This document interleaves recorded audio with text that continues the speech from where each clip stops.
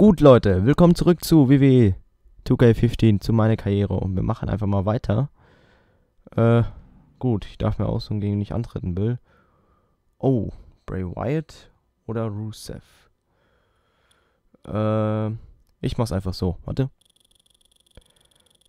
Und stopp. Gehen wir dreimal an. Ah, Rusev. Ja, nein, matschgallen wir mal. Kümmert mehr Zuschauer, weniger Geld, aber gut. Dann ist es halt so. Bin mal gespannt, ob The Shield mitmacht. Das werden wir sehen. Ob The Shield uns fertig macht oder uns in Ruhe lässt. Das werden wir sehen. So, und obwohl, ich glaube, ich hätte lieber mich für Bray Wyatt entschieden, weil Rusev, naja, gegen den bin ich schon so oft angetreten. Ich muss mal ein bisschen gegen neuere Gegner rantreten. Wir wirklich mal versuchen können, alle Gegner zu besiegen. Auch gegen alle angetreten zu haben, obwohl gegen Rusev haben wir eigentlich noch eine offene Rechnung. Wegen dieser einer Squasherei, die bei Superstars passierte. Dafür squashen wir ihn jetzt hier bei SmackDown. Was natürlich bedeutsamer ist, weil SmackDown halt eine größere Show ist als Superstars natürlich. Und auch, ich glaube, NXT auch. Ne, äh, Quatsch. Ich meine, äh, natürlich größer als NXT. Auch wenn ich sagen muss, dass die Shows bei NXT sehr viel besser sind als bei äh, SmackDown. Also, ich guck. Und, oh. Ja. Dann zeig mal den DDT, wenn du halt nicht, nicht an dir ranlässt. Machen wir halt so und dann halt ein kleiner Moonsault. So. Und noch einer. So, und dritter. Und, oh, scheiße. Rusev. Oh nein. Oh, scheiße. Und, oh, was für ein Slam. So. Gut. Und Dignity. Direkt den DDT gezeigt. Sehr schnell ausgeführt. Und an die Hand. Wir gehen an die Hand. wow, war der Moonsault. Und noch einer. Und one more time. Nein, leider nicht. Und noch einer DDT. Wir legen hier richtig los. Gegen Rusev.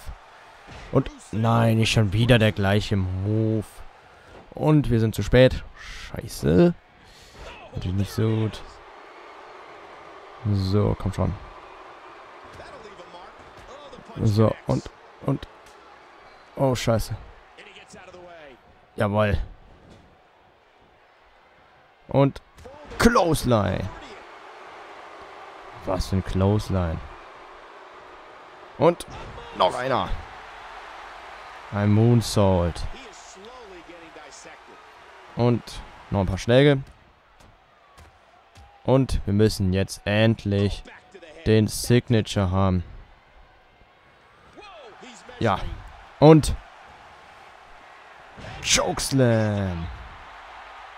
Und war es das vielleicht schon?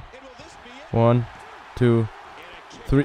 No, Rusev kickt aus. So. Und. Nein! Oh doch, der geht. Ich habe gerade gedacht, der geht nicht durch. So, und Pin. One, two, three. Rusev ist gesquashed. Und damit haben wir uns wieder mal Rache genommen an Rusev. Dafür, dass er uns damals mal gesquashed hat. So. Gut. Ja, es war ganz okay. Bin mal gespannt, passiert noch was? Nee. Diesmal kommen wir ungeschont davon.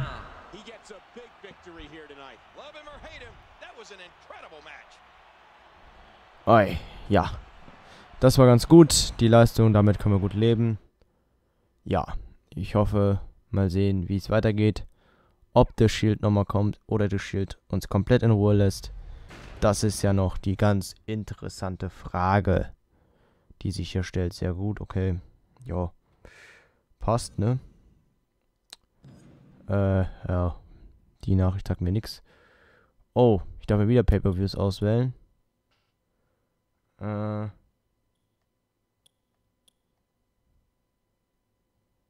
Ah, ich krieg. Ah, okay. Aha.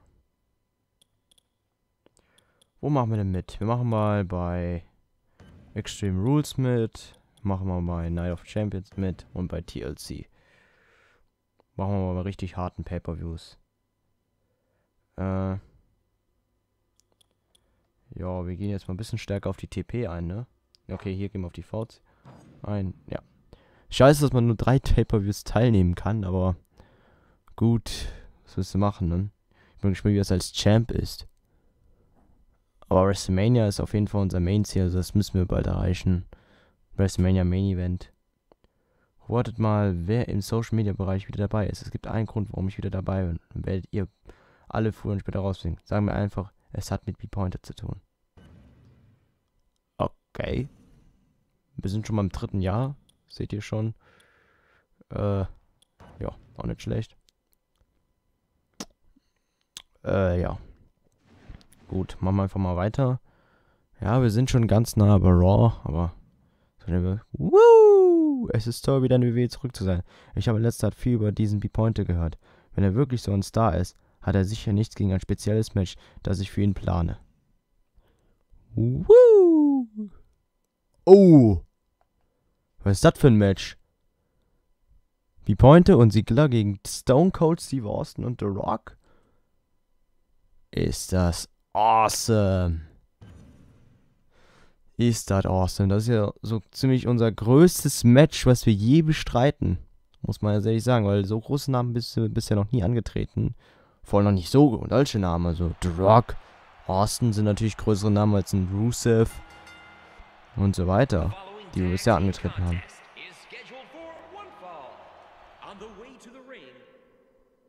B-Pointe. Da kommt der auf Sigler. Lass mich noch ein bisschen reinkommen.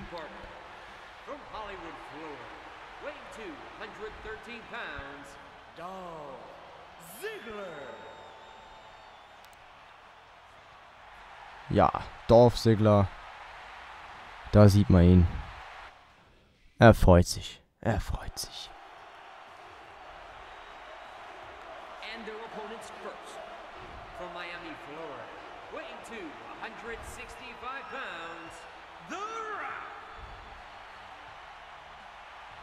Ja, The Rock ist auch in WW 2K15 dabei. Und das freut mich natürlich enorm. Da ich ja The Rock mag, also zumindest ist er eine Legende. Ich fand ihn einfach damals geil.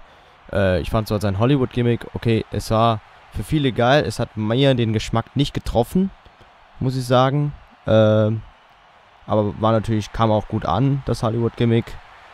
Äh, ja, The Rock eine Legende. Ich freue mich immer, ihn zu sehen. Ich hoffe aber nur, dass er nicht mehr wrestelt, also weil er halt nicht ein Ring für Performer. Wenn er ein WrestleMania-Match bekommt, äh, ja, sage ich nichts, weil er hat viel einfach beigetragen dafür, dass die WWE heutzutage noch existiert. Deswegen hat er sich ein Match verdient und er natürlich genauso und ich liebe ihn von Anfang an die ganze Zeit.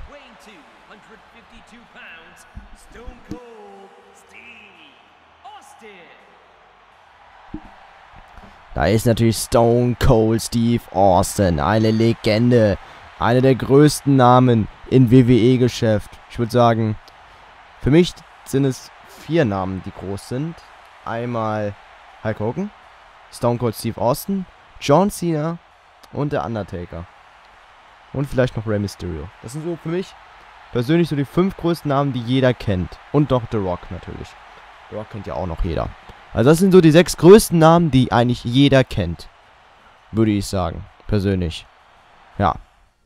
Äh, wer jetzt der ganz größte ist, ist es jeder zu beurteilen. Für mich der Undertaker, aber naja. Jeder hat seine Meinung und Oh ja, ich bin ein bisschen nervös. Und da erste Aktion gegen DDT. Gegen Dolph, äh, Dolph Ziggler, gegen The Rock. Und ich lasse Dolph Ziggler ran. Und ja, Schöner Clothesline. Schöner Clothesline voll Dolph Ziggler. So. Gut. So. Ach, scheiße. Oh je. Gut. Und. Und ein Suplex gegen The Rock. Müssen wir zeigen, damit wir Dolph ein bisschen helfen. Aber was ich da... So. Und. Come on.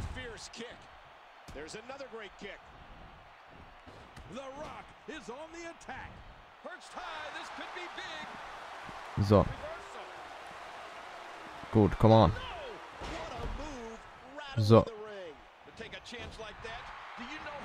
Komm, komm, komm, komm. Nein, ich will, ich will einfach nur einen Tag.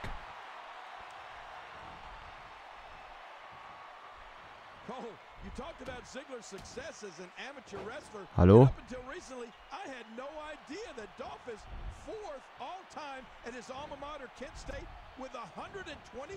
So, und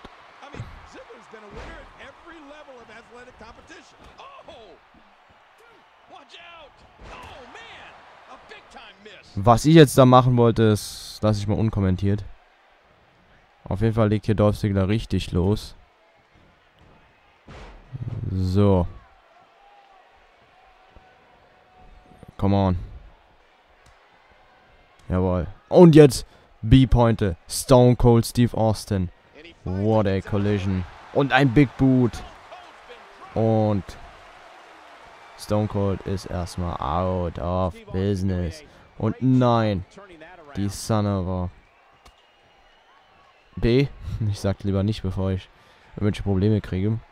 The toughest SOB in the history of WWE. Natürlich, was der alles ausgehalten hat, das ist echt ein harter Kerl. Zum Beispiel mit Nackenbruch trotzdem weiterkämpfen, also das ist ein Kerl. Also Stone Cold. Eine, eine Legende. Zu Recht eine Legende. Und ja. Freut mich auch. Und dass ich den Podcast, den habe ich mir so gerne angehört. Muss ich ehrlich sagen. Und Stone Cold mit dem Clothesline. Aber er hat nichts gebracht. Und Power Slam. So. Und. Gut, come on. Alter, was machst du da? So, und Tag. Und jawohl, perfekt. Stone Cold wird fertig gemacht. Und Schläge, Schläge, Schläge, Schläge, Schläge. So.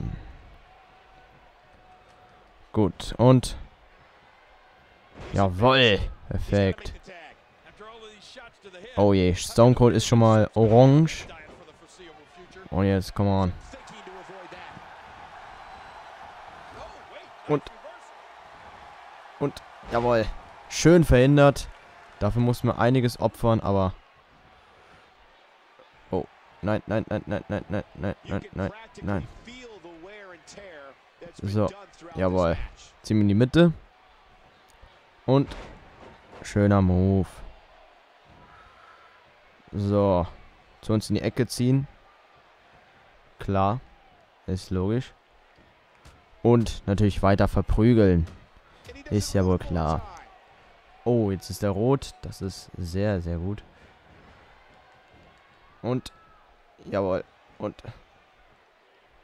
Ja, perfekt. Und Suplex. Oh ja. So, und.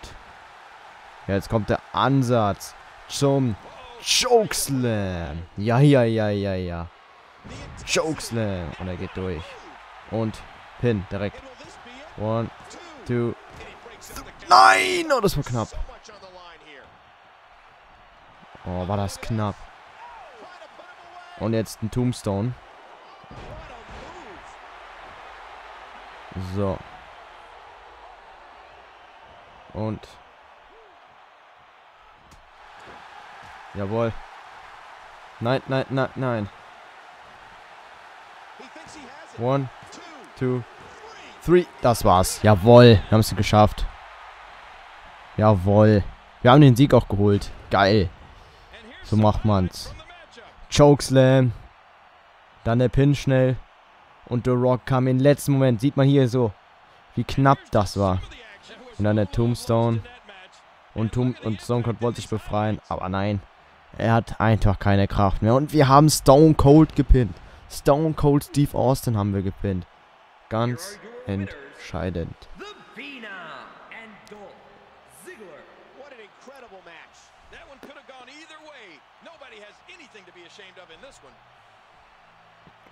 Ja. War eine gute Leistung. Damit können wir beide zufrieden sein. Sowohl Dolph als auch wir. Und ja, damit gehen wir auch weiter. Cool, ey, dass wir echt mal ein Tag Team Match machen konnten. Das freut mich enorm. Ja. Guck mal, wie viel wir jetzt gekriegt haben, was es auch für ein Match war. Ich würde sagen, 3 Sterne Match. Mindestens. Oh, 3,5 Sterne Match. Auch nicht schlecht. Auch nicht schlecht. Wow, du bist wirklich einer der besten Superstars in der WWE. Aber es gibt Superstars und es gibt Legenden. Es liegt noch ein langer Weg vor dir, bevor du eine Legende wie ich bist. Mach einfach so weiter wie bisher. Ich habe nächste Woche eine neue Herausforderung für dich. Okay. Wir verbessern uns, werten noch ein bisschen was auf. Aber ansonsten. Seid gespannt. Ich mach dich fertig. Nein, Spaß. Ähm. Nein! Oh, warum bin ich wieder im Performance Center? Da will ich ja gar nicht hin. Gut. Machen wir schnell hinter uns. Ja. Da sind wir Dorf. Äh, ne, Bray Wyatt, denn Close Line gegen Bray Wyatt. Nee, das will ich nicht machen. Ist mir jetzt auch egal. Komm, weg da. Ja. 180 Talentpunkte ist auch nicht schlecht. Für nichts tun kriegt man Geld. Das ist, oder TP. Äh, ja. Kann man theoretisch die ganze Zeit machen. Ich will es eigentlich nicht machen. Ist mir jetzt wieder versehentlich passiert. Äh, jawohl, Kopfzähigkeit haben wir erhöht. So, jetzt müssen wir noch diese beiden Zähigkeiten ausüben und danach können wir uns mal hier ein bisschen steigern. Ja.